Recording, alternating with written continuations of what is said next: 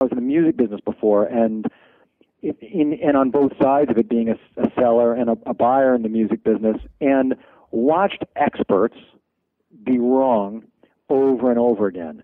And it taught me that there's a value in listening to the experts, hearing their reasons, but the step that a lot of people miss is a dispassionate evaluation of the reasons. And that if you can dispassionately evaluate the reasons for rejection and find them with merit, you can address them. Without merit, you can ignore them. And I learned to think that way when I was in my early 20s. So that although it, it always stings, it's always emotionally, um, you know, as I said, dispiriting when you face rejection.